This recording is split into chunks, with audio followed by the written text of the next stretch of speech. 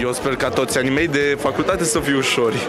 A, cu gânduri foarte bune de încurajare, de optimism și sper ca eu sunt nou în oraș și sper ca aici să-mi găsesc și să-mi clădesc un viitor.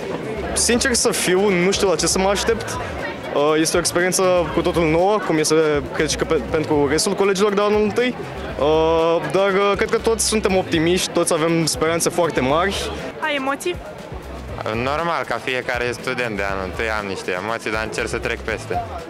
De ce ți-e cel mai mult teamă? De examene, de profesori?